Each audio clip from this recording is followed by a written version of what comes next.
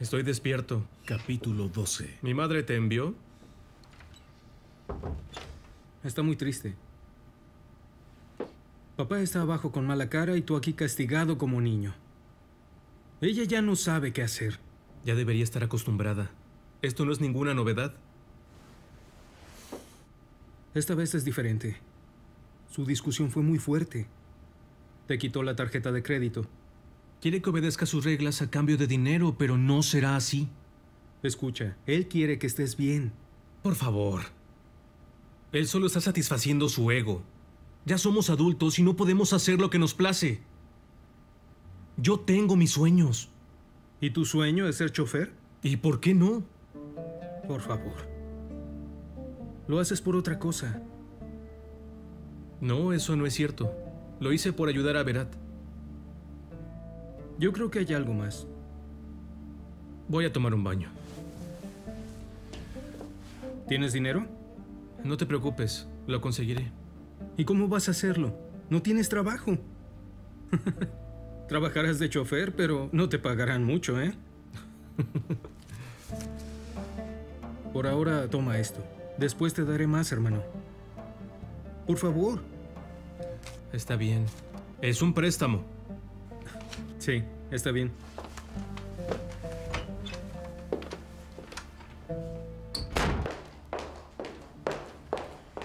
Tranquilo. No le des mucha importancia a esto. No durará mucho tiempo. Ya lo sé, hermana. Pero ya no voy a permitir que siga controlando mi vida. Papá es muy duro. Nunca cambiará. Eso lo sabes. Handan me traicionó. Está preocupada por ti. Eso es todo. Espera, espera, espera.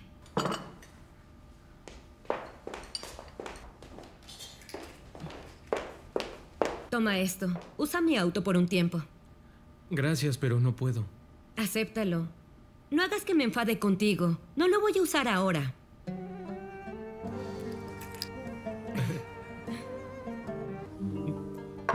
Ya tengo que irme.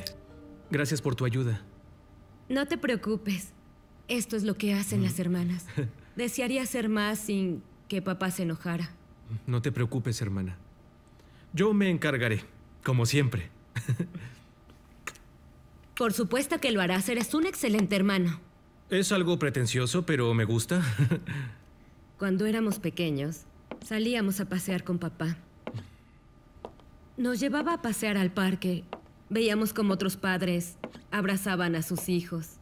Pero papá no era así. Hasta que naciste. Recuerdo que comenzó a sonreír. Y comenzó a abrazarnos.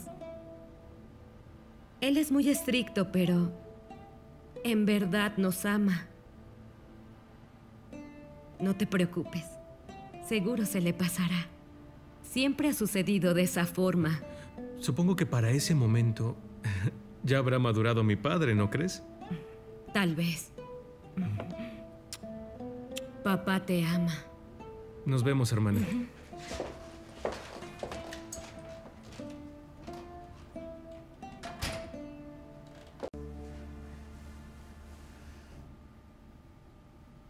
Hermana.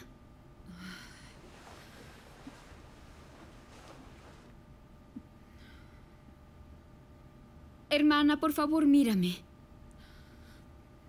Desde ayer no me hablas.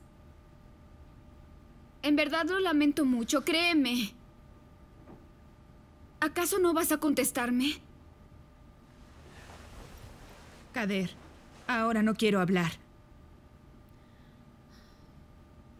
Hermana, juro que devolveré el vestido. Te juro que sí quería devolverlo. Kader, ya basta. Escucha, te juro que solo pensaba usarlo una vez.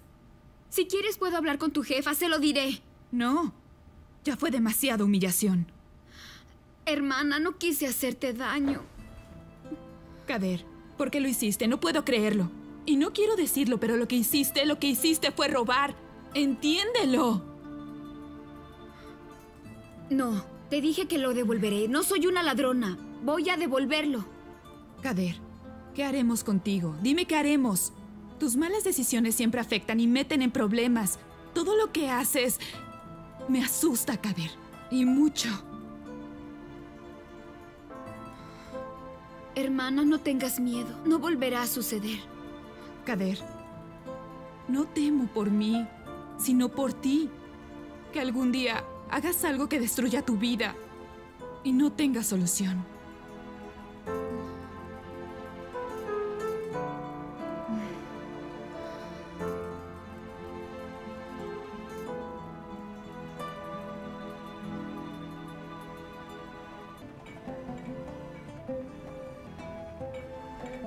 Madre, ¿tú crees que podríamos hablar? ¿Qué sucede? Tengo que decirte algo. Parece que me darás malas noticias.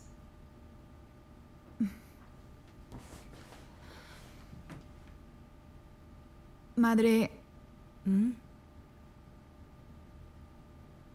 Me despidieron. ¿Qué? No pude decírtelo ayer que llegué, pero ya no puedo ocultártelo más. ¿Te despidieron? ¿Y por qué lo hicieron?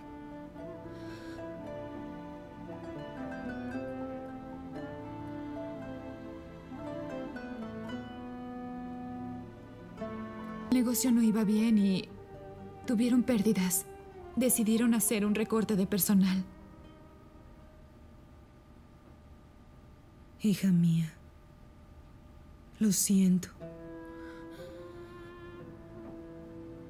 ¿Y, ¿Y por qué tú? ¿Despidieron a alguien más? No. Solo a mí porque mi ingreso fue reciente. Madre, tranquilízate. Te prometo que lo resolveré. Lo siento. No importa. Cuando se cierra una puerta es porque otra se abre.